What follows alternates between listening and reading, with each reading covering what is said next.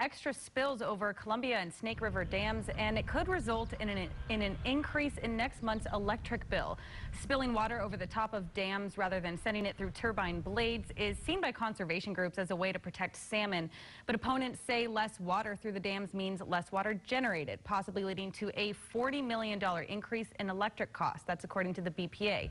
House Representative Dan Newhouse has been rallying against the bill and said it could affect more areas than people think. Hydropower dams provide many benefits to our region, including what many people forget, the important flood control, navigation, irrigation, recreation, and clean, low-cost, carbon-free power.